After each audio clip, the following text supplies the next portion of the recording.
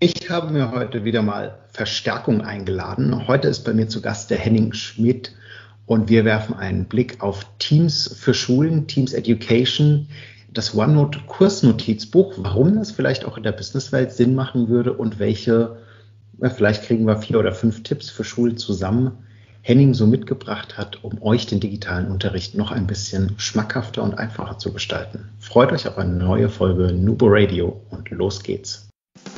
Herzlich willkommen zu Nubo Radio, dem Office 365 Podcast für Unternehmen und Cloudworker. Einmal in der Woche gibt es hier Tipps, Tricks, Use Cases, Tool Updates und spannende Interviews aus der Praxis für die Praxis. Und jetzt viel Spaß bei einer neuen Episode. Hallo und herzlich willkommen zu einer neuen Folge Nubo Radio. Willkommen Henning, Ersttäter des Podcasts. Ich freue mich, dass du da bist. Ich freue mich, dass du uns angeschrieben hast. Ich habe dich ja nicht mal aktiv eingeladen, du hast dich eigentlich ja selbst eingeladen. Aber vielleicht möchtest du dich kurz vorstellen. Ja, hallo Markus. Ähm, danke für die schnelle Reaktion auf meine Mail-Anfrage. Ich habe mich erst gar nicht getraut, weil ich höre euch seit anderthalb Jahren auf dem Weg zur Arbeit und dachte, wow, das ist so cool und da sind immer Leute, die so viel Ahnung haben. Und das passt ja überhaupt nicht, wenn du denen mal schreibst, ob du was über Education erzählen sollst. Auf der anderen Seite nutzen wir bei uns an der Schule seit knapp vier Jahren Teams sehr intensiv. Und ich zeige das gerne auch anderen Schulen. Und da habe ich gedacht, Mensch, schreib einfach hin, mehr als absagen können sie nicht und dass wir jetzt innerhalb von drei Wochen sofort einen Termin hingekriegt haben und das jetzt aufzeichnen. Ich bin auch gerade ein bisschen hibbelig, weil ich jetzt ja auf der anderen Seite sitze, sonst sitze ich vor dem Radio und schauen wir mal. Lee, lass uns ja. loslegen. Ich, ich freue mich. Also ich freue mich wirklich, dass du hier bist. Wir hatten ja schon mal äh, mehr oder weniger einen Kollegen von dir hier, den Ansgar Jans. Andersrum? Doch, nee, ich glaube, stimmt.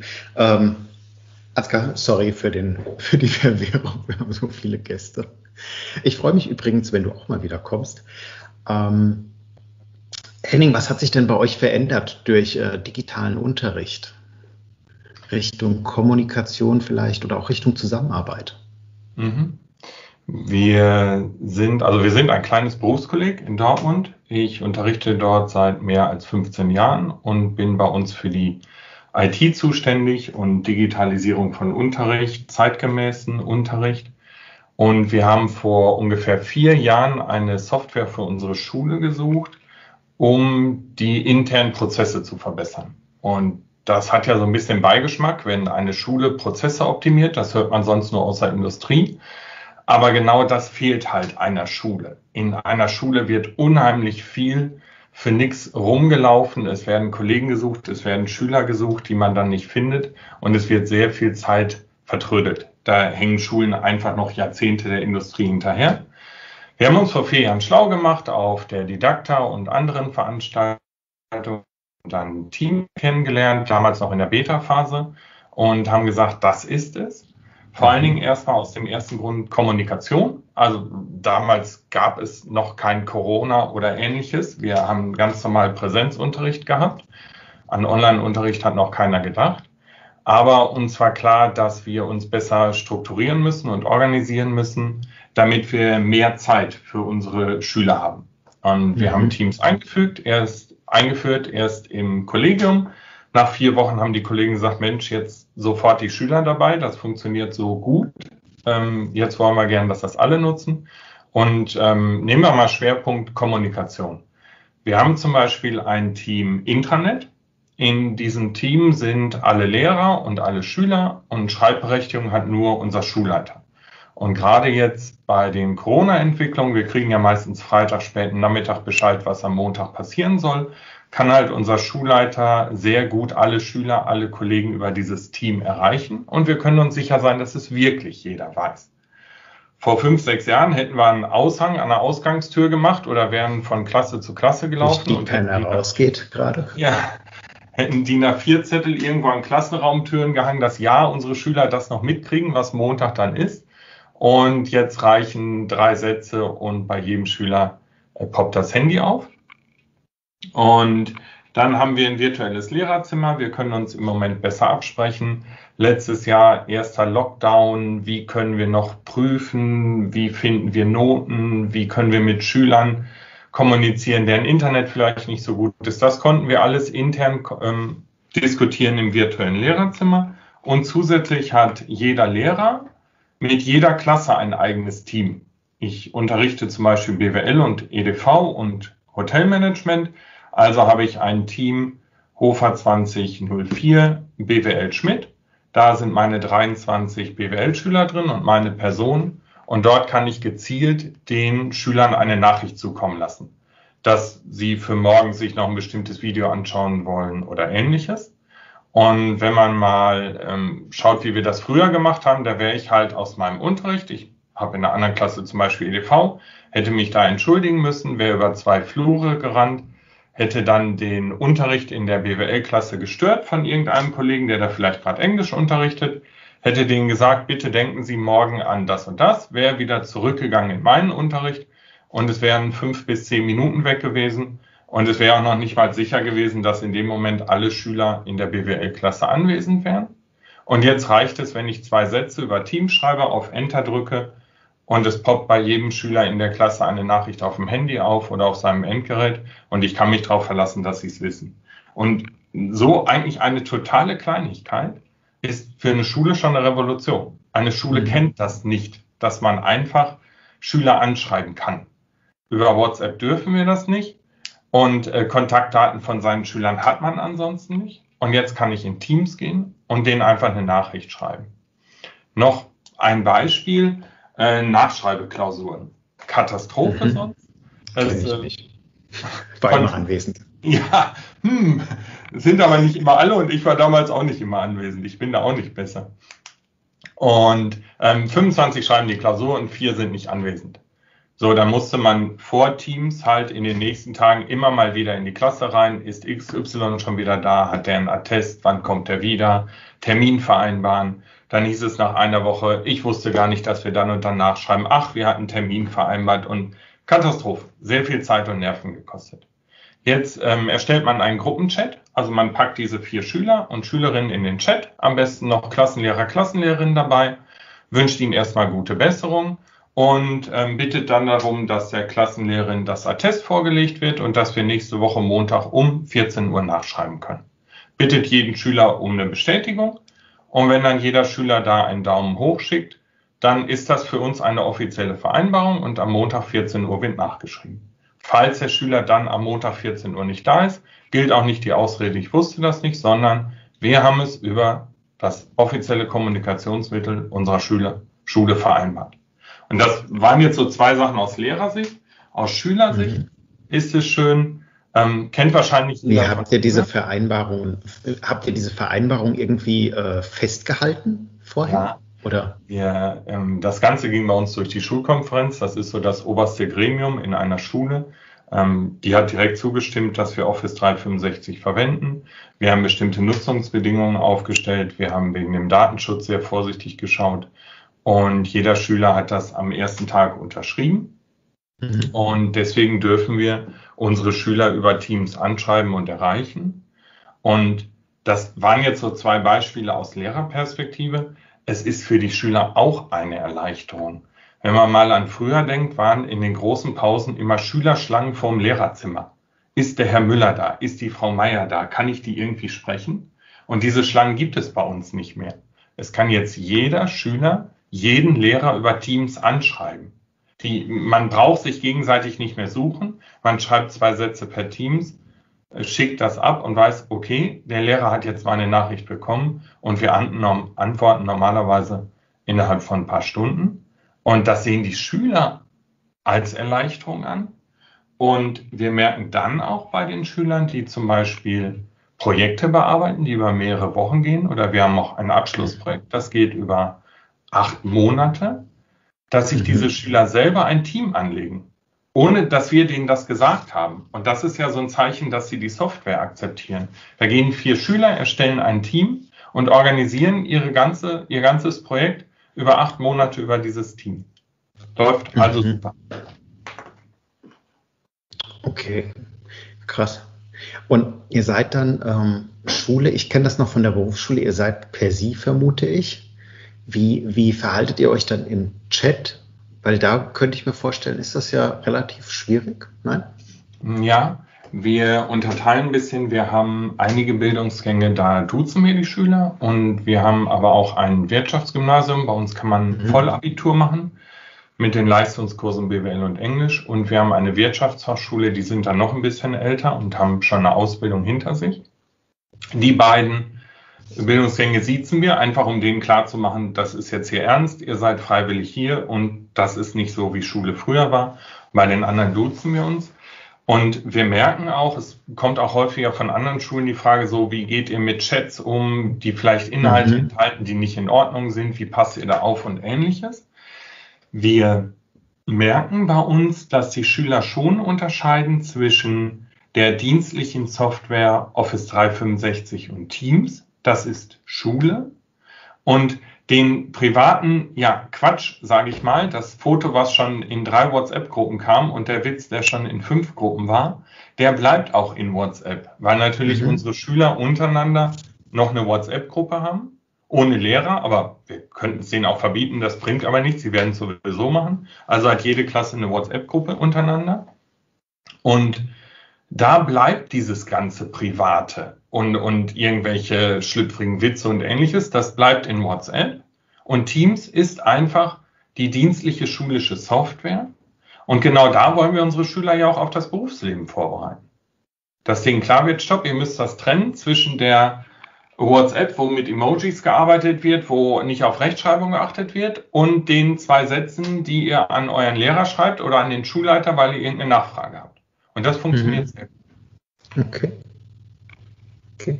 Jetzt hast du ja schon zwei sehr gute Beispiele gebracht. Ähm, hätte ich übrigens nicht dran gedacht, so an die Schlange vorm Lehrerzimmer, dass das ein, ein Plus ist, auch für den Schüler, ist ja auch für den Lehrer eine Entlastung. Der muss vielleicht auch nicht seine Pause unbedingt opfern. Ähm, ich glaube, die brauchen nämlich auch manchmal Pause, habe ich mir sagen lassen. Ähm, wie gestaltet sich denn so ein Online-Unterricht? Also für mich als Nicht-Schulmensch ohne Kinder, äh, mich interessiert das, wie, wie gestaltet ihr mit Teams so eine, so eine Online-Remote-Session dann? Ja, wir, ähm, letztes Jahr im März war der erste Lockdown mhm. und wir hatten damals Teams schon drei Jahre im Einsatz. Jeder Schüler hatte einen Zugang, jeder Lehrer und wir waren allgemein mit der Technik was Teams angeht, Kommunikation, Dateiablage vertraut. Und dann kam im März auf einmal Online-Unterricht mit Videokameras, mit Mikros, mit Headsets, mit Ton funktioniert nicht, mit Bild funktioniert nicht. Also wir haben das auch alles durch. Es war bei uns nur sehr viel einfacher, weil wir von heute auf morgen umschalten konnten. Jeder hatte einen Zugang, jeder hatte irgendein Endgerät und selbst wenn es ein Handy ist. Und so konnten wir direkt Online-Unterricht durchführen. Wir haben viele Erfahrungen gemacht, wir sind ganz oft gegen die Wand gelaufen, haben Fehler gemacht, so wie es sein soll und haben das aber nach ein paar Wochen alles am Laufen gehabt, auch sehr rund. Und man kann sich das praktisch so vorstellen, auch im Moment sind bis auf die Abschlussklassen alle Schüler zu Hause, dass ähm, es laut Stundenplan zum Beispiel Viertelfach losgeht. Nehme ich mal BWL bei meiner Person. Dann wissen die Schüler, okay, 7.45 Uhr BWL beim Schmidt. Da brauche ich keine Termineinladung, keinen Kalendereintrag, weil die nutzen den Outlook-Kalender normalerweise nicht, sondern die öffnen Teams und gehen einfach in das Team BWL Schmidt, weil sie da ja Unterricht haben. Um 9.30 Uhr zur dritten Stunde würden sie in Englisch Gräve gehen, weil sie dann bei Herrn Gräve Englisch haben. Also die Schüler öffnen das Team, was sie laut Stundenplan haben. Dann starte ich um Viertel vor acht eine Besprechung die Schüler sehen in dem Team einen Teilnehmen-Button, klicken da drauf und dann sehen wir uns alle. Und wir machen es auch so, dass wir am Anfang alle Kameras einschalten lassen. Ich habe meine sowieso immer an, schon aus Höflichkeit. Aber auch die Schüler schalten Viertel vor acht alle Kameras an. Wir haben ein zusätzliches elektronisches Klassenbuch. Ich nehme die Anwesenheit auf und anschließend können die Schüler dann teilweise die Kamera ausschalten, wenn die Internet Verbindung mhm. nicht so gut ist oder wenn nebenan die Geschwister auch Homeschooling haben oder die Eltern Homeoffice haben. Das ist kein Problem. Das Mikro ist ja weiterhin da. Dann ähm, klärt man erstmal den Ablauf der Doppelstunde ab. Dann gibt es eine Situation oder eine Aufgabe. Und die bearbeiten die Schüler bei uns im OneNote Kursnotizbuch. Kann ich hinterher nochmal vorstellen. Und jetzt sage ich mhm. mal, die arbeiten 20 Minuten an der Aufgabe und anschließend wollen wir uns ja das Ergebnis anschauen. Dann lasse ich immer einen Schüler sein Ergebnis präsentieren.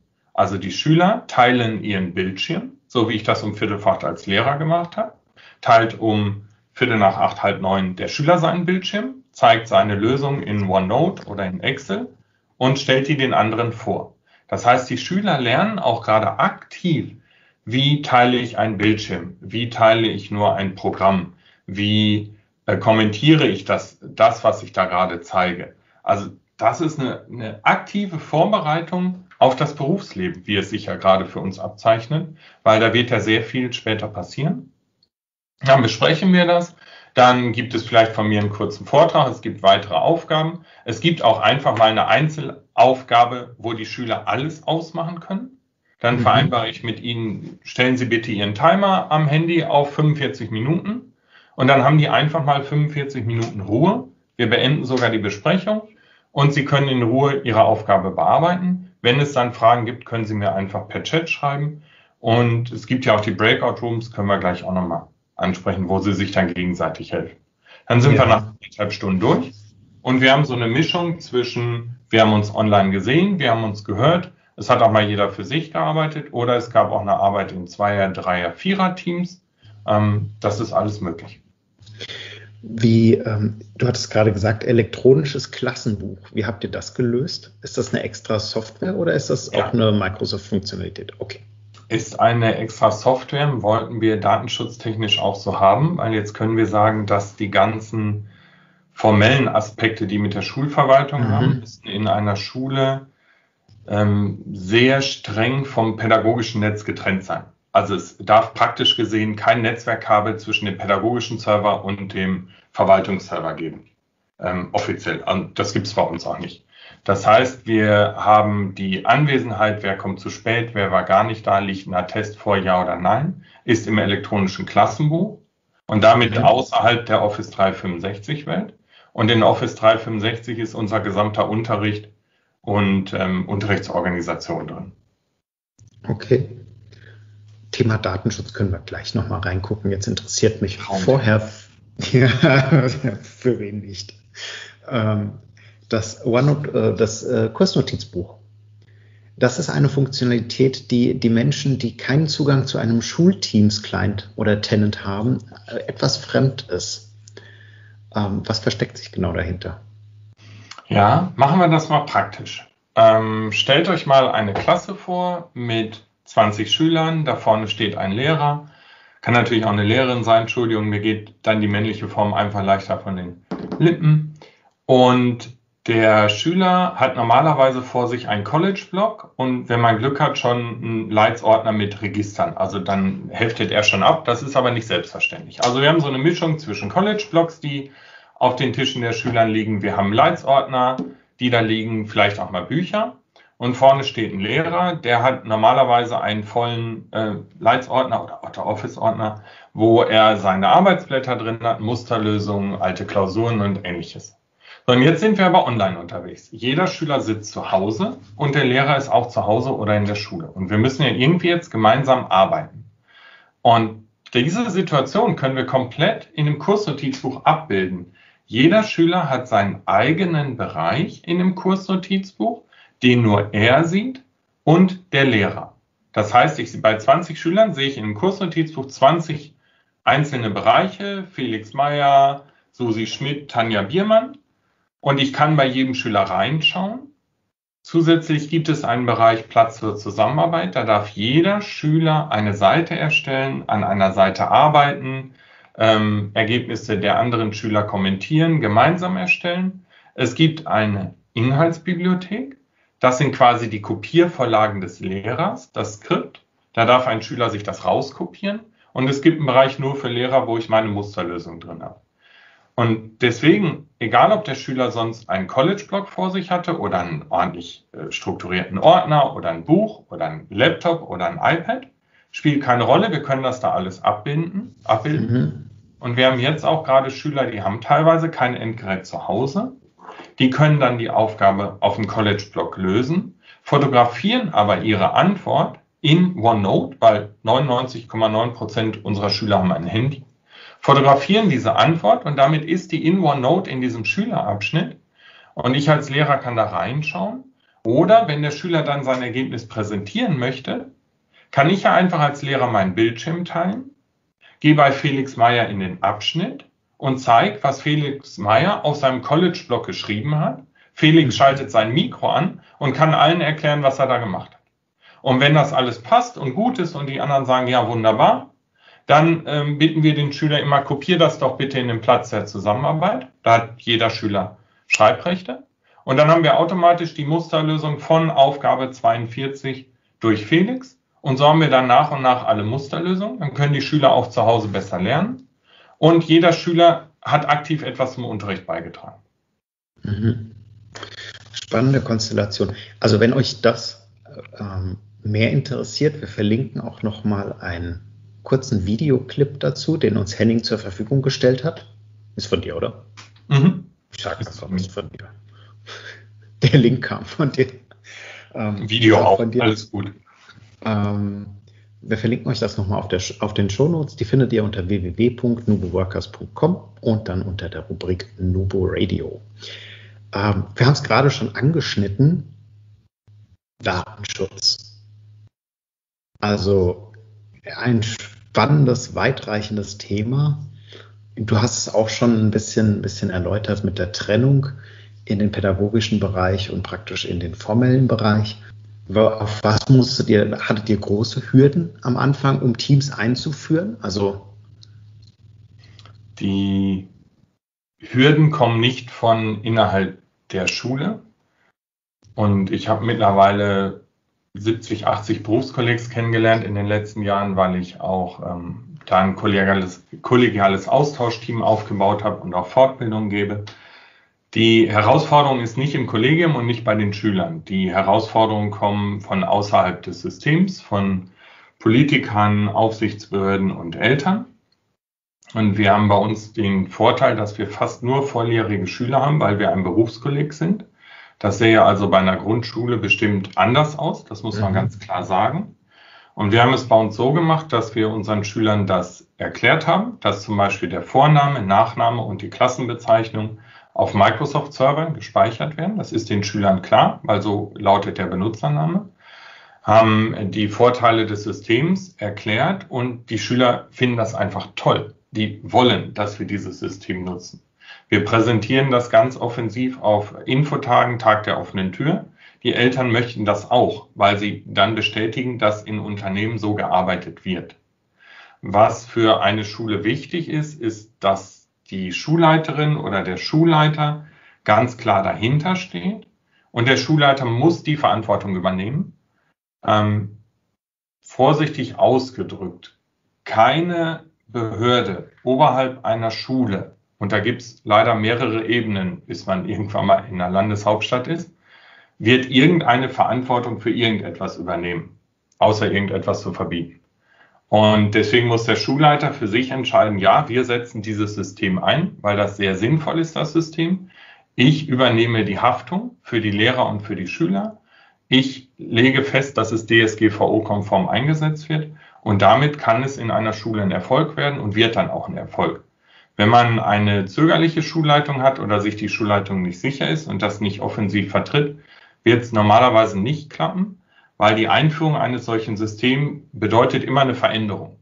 Und man kann das so ungefähr sagen, ein Drittel des Kollegiums freut sich auf diese Veränderung, ein Drittel wartet ab und ein Drittel denkt sich, Mensch, äh, hat doch früher auch geklappt.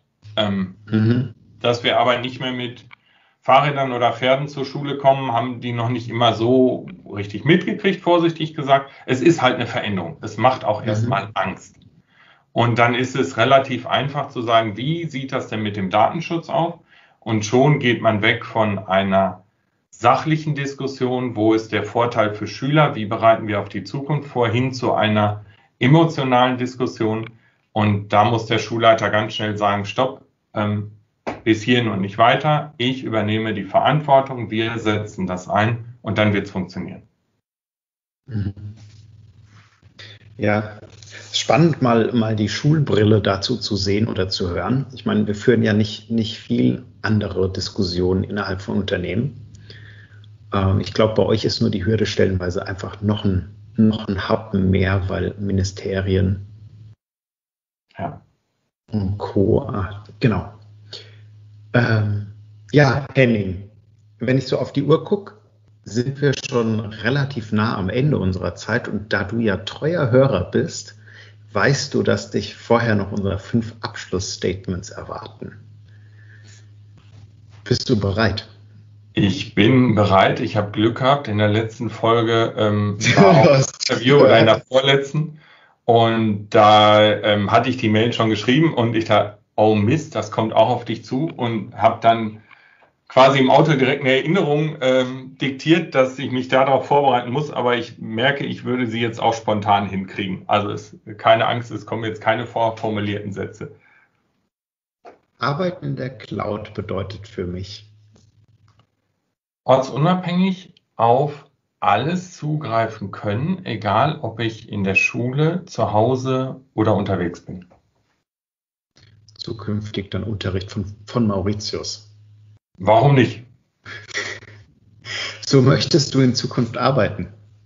Ähm, weiterhin auf jeden Fall mit Menschen. Egal ob offline oder online, gerne auch mal wieder mehr direkten Kontakt zu den Schülern, mhm. ohne dass wir diese Produktivitätsvorteile durch die Kollaboration ähm, verlieren. Die möchte ich weiterhin nutzen. Mhm. Sehr schön. Und du weißt ja meine Lieblingsfrage, welche App hast du heruntergeladen und warum? Das war zum Glück nicht für mich. Ähm, wir haben nebenan im Wohnzimmer äh, sechs Quadratmeter Lego-Baulandschaft von unserem zehnjährigen Sohn, der da unheimlich viel Zeit mit verbringt. Und es war eine Stop-Motion-App. Wir haben jetzt gerade Osterferien und ähm, im Moment darf Papa mit auf dem Boden knien und einen Star Wars Lego Stop-Motion-Film drehen. Das habe ich persönlich noch nie gemacht, aber mal gucken. Vielleicht nicht und Neffen irgendwann. Ähm, es ist sehr äh, tricky. Man darf das Bein einer Lego-Figur etwas bewegen, dann macht der Sohn ein Foto und dann darf man das Bein wieder woanders hin bewegen. Ähm, es ist, ist sehr zeitintensiv. Genau, es ist sehr zeitintensiv, aber es ist unheimlich gut zur Entspannung, weil es hat keine Tastatur, kein Internet, kein Handy. Man hat einfach nur eine Lego-Figur in der Hand und es entspannt ungemein. Das muss ich vielleicht auch mal ausprobieren. Das möchtest du dem Hörer mitgeben? Ähm, wir müssen und auch ganz klar ein Ausrufezeichen in Zukunft unsere Materialien besser tauschen. Das ist im, im Schulsystem eine Katastrophe. Es gibt sehr gute Verlage, auf jeden Fall. Aber die leben halt auch davon, dass sie ein Copyright auf Inhalten haben, sonst könnten sie die gar nicht erstellen. Es gibt aber auch Hunderttausende von Lehrern, und wenn jeder Lehrer jedes Jahr eine gute Aufgabe in einen Topf werfen würde, wo sie dann unter freien Lizenzen drin wäre und jeder könnte sich bedienen, würde es uns die Digitalisierung leichter machen. Ich habe ähm, für mich, ich meine vor zwölf Jahren habe ich das erste Buch geschrieben, Word und Excel für Gastronomen und habe da mitbekommen, was es für eine Erleichterung sein kann, wenn man das Buch auch direkt als PDF einfach frei zur Verfügung stellt. Da habe ich vor drei Jahren aus diesem Grund eine Plattform gegründet, cloudteaching.de. Und dort stelle ich zum Beispiel meine ganzen Office 365 Anleitungen für andere Schulen zur Verfügung. Also die Schulen kriegen das Word-Dokument, 40 Seiten Online-Unterricht mit Teams, können ihr eigenes Logo da reinpacken, ihre eigene Kopf- und Fußzeile, schreiben einfach auf der letzten Seite, basiert mhm. auf Vihoga Dortmund, Cloud Teaching Henning Schmidt und brauchen sich diese ganze Arbeit nicht machen. Und das ist jetzt nur in Anführungsstrichen, das sind ungefähr 500 Seiten Anleitung. Und der nächste Schritt ist in meinen Augen, dass wir mit Unterrichtsmaterialien anfangen. Ich habe jetzt meine Materialien für Wirtschaftsinformatik zum Beispiel unter freier Lizenz. Ähm, da baue ich gerade ein kollegiales Austauschteam auf. Also auch da, wer Bock hat, schreibt mir einfach eine Mail, gerne. Ähm, das wäre die Frage noch gewesen. Wo erreicht man dich denn? Ähm, jetzt, äh, cloudteaching.de hatten wir gerade schon. Genau. Und ähm, wir können in den Shownotes gerne meine E-Mail-Adresse reinpacken mhm. und ähm, keine Scheu haben. Also einfach schreiben. Ich versuche auch relativ zügig zu antworten, aber die Schüler gehen immer vor. Und ähm, wenn, wenn wir es schaffen, unsere Materialien unter diesen Lizenzen einfach untereinander zu tauschen, fällt es uns leichter, unseren Unterricht zeitgemäß zu gestalten. Weil das sind so super Chancen, die wir gerade haben. Nicht nur durch die Technik, sondern durch diesen neuen Denkansatz von Kollaboration, äh, dass das einfach eine Chance ist, Sachen zu ändern. Und da möchte ich schwerpunktmäßig die nächsten Jahre viel investieren. Mhm. Sehr schön. Dein Lieblingszitat, Henning? Ähm, zwei, also ja, drei eigentlich. Ähm, hier am Bildschirm klebt, ähm, jammern ist blöd, tu was oder vergiss die Sache. So, ne, aus äh, Quengeln bringt nichts, sondern mach einfach was dagegen oder lass es. Dann steht hier noch Eat the uh, Big Ugly Frog, ähm, damit ich den nicht immer den ganzen Tag vor mir herschiebe. Aber eigentlich so im Moment in dieser Zeit oder seit einem Jahr äh, finde ich einen Spruch super. Wir müssen ja sowieso denken. Warum nicht gleich positiv? Das ist frei nach Albert Einstein und ich finde, da steckt viel drin. Mhm. Ja, finde ich auch. Das ist äh, sehr, also mit deinen drei Zitaten kann man sich durchaus den Tag gestalten. Ja. Henning, vielen, vielen Dank, dass du äh, die Initiative ergriffen hast, uns geschrieben hast, dass du zu Gast warst, dass du dich so einsetzt, dass du deine Materialien zur Verfügung stellst. Danke für dein Schaffen und dein Tun. Ja, an euch auch nochmal ein, ein super großes Dankeschön. Ich höre euch seit anderthalb, zwei Jahren im Auto auf dem Weg nach Dortmund, habe schon ganz viel mitgenommen, wenn ihr die einzelnen Bestandteile von Office vorstellt oder wenn ihr ein Interview geführt habt mit ähm, anderen Personen, wo hey, die Arbeitsweise da ähm, kannst du was für übernehmen für die Schule und freue mich einfach da jetzt auch etwas zurückzugeben. Freue mich auf einen kollegialen Austausch. Wenn ähm, sich das für euch sinnig angehört hat, wenn ihr da Hilfestellung braucht, schreibt mir einfach. Ähm, gemeinsam schaffen wir es, einen zeitgemäßen Unterricht zu gestalten. 5 Euro ins Phrasenschwein. Vielen Dank.